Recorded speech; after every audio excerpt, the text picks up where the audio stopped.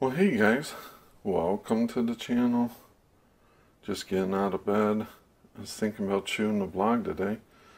And one thing that always comes to mind is kind of like Groundhog Day. I guess that's okay. If that's the way your life is, that's kind of how mine is. A lot of things do kind of tend to same, stay the same, so. Well, one thing that's clearly different is the lake's an ice cube.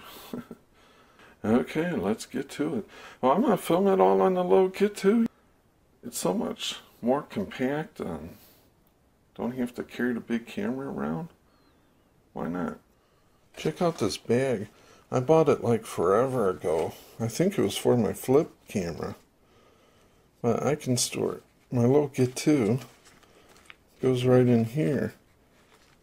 Anything else like mic cords or whatever, can store. I got tons of space compared to this big thing that I'm used to having to carry around for the big camera. So, no brainer.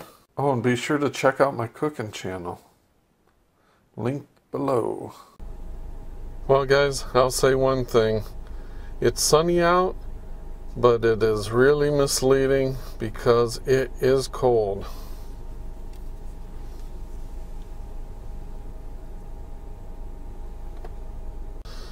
Yeah, 15 is cold. I am so jealous of everybody that's in some decently warm weather down south or wherever.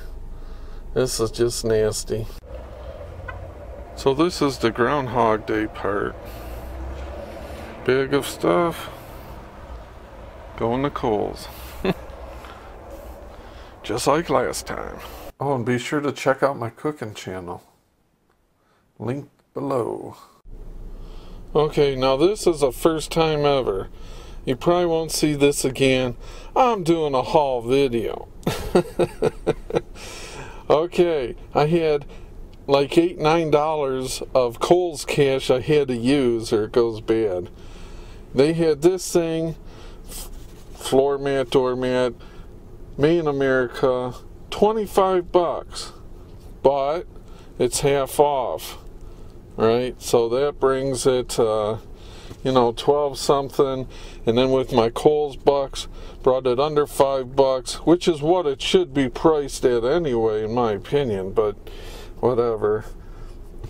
Under five bucks for this. It's thick, it's rubber, me in America, can't beat it. Who says I can't do a haul video?